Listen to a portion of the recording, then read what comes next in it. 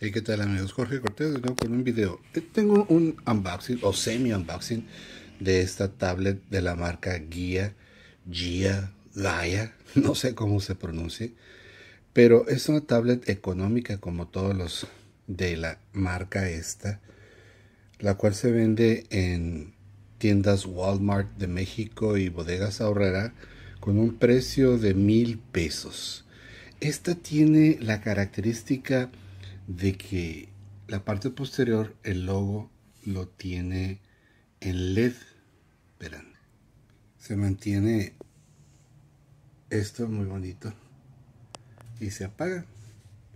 Por eso se llama A7 LED o LED. Tiene un color gris muy bonito, un color tipo metálico, pero es plástico. Y bien, ¿qué es lo que tiene?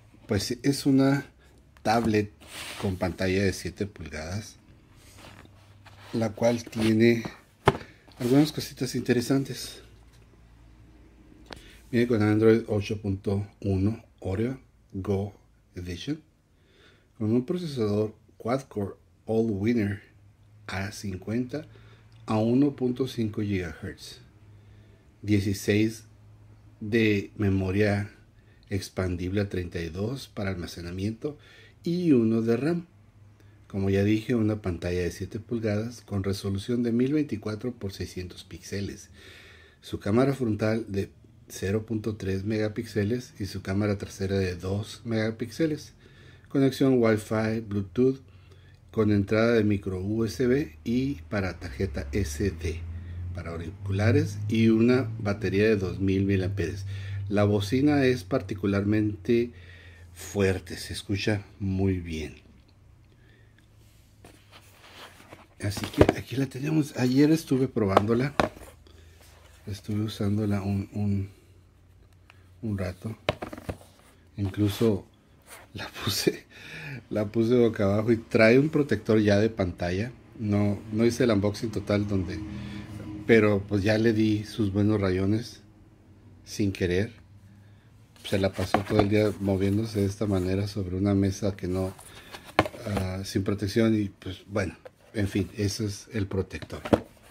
Bien, entonces tiene a un lado su botonera de encendido, subir, bajar volumen y un micrófono parte superior, salida para auriculares, entrada para tarjeta micro USB y tarjeta micro USB, tarjeta para micro SD y la entrada de micro USB. De un lado nada y abajo igual un micrófono nada más. Parte posterior su altavoz que se escucha mucho mejor que algunas otras con indicadores, cámara de 2 megapíxeles y hasta ahí. Y el LED, la lámpara LED, bueno, no es lámpara, sino se ilumina el logo de una manera muy bonita. Bien, entonces vamos a a verlo. Su pantalla tiene más o menos en ángulos como todo este tipo de pantalla, pues no es muy bueno. Pero pues por mil pesos no puede uno quejarse. Trabaja bien casi todo. No es, es, es, miren, el, la manera de refrescamiento es no inmediato, pero sí es muy buena, muy, muy, muy rápida. O sea, se mueve bien una pequeña muestra del sonido.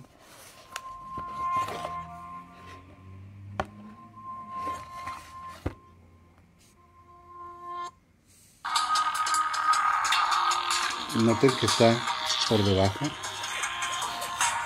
Para descubrir su bocina mucho más fuerte. Por cierto, es composición mía, ¿eh? No creo que YouTube me lo vaya a desmonetizar por eso.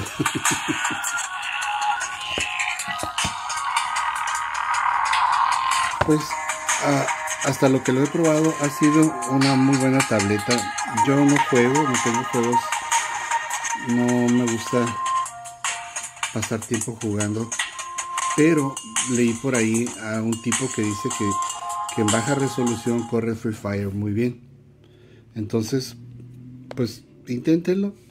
Está súper económica para clases en línea funciona muy bien también. Y pues 16 GB de, de almacenamiento interno son muy buenos, expandible a 32 con otra con una tarjeta micro SD. Su giga de RAM siendo Android Go pues en realidad no es tan lenta, está, está aceptable. Esta es una tableta económica aceptable, sobre todo pues muy bonita con su letrero de guía para que tus tus amigos te vean y, y digan wow qué bonita tablet así que pues hay que evitar ponerle algún protector que le vaya a cubrir porque pues eso es lo atractivo. Bien pues ahí lo tienen. Gracias